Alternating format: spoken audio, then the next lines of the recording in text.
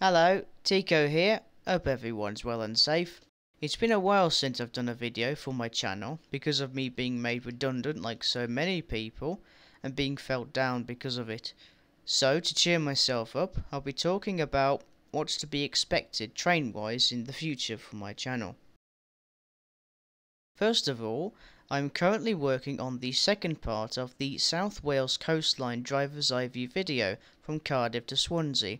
The next modern driver's eye view video will be covering the Fife Circle line in Scotland, and in terms of steam age driver's eye views, I'll be looking to make a series of videos covering the Weardale and Teesdale network using both steam and diesel locomotives as well as the diesel multiple units.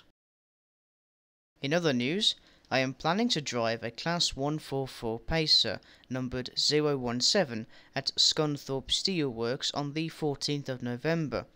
The event is worked by the Appleby Frodingham Railway Preservation Society, which at the same time also provides an opportunity for a train spotting session at both Doncaster and Scunthorpe.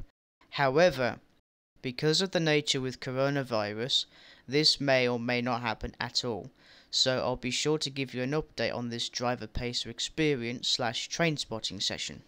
The link to the Preservation Society, as well as my new Facebook group, will be in the description below. And as always, thanks for watching, happy Halloween by the way, and stay safe everyone.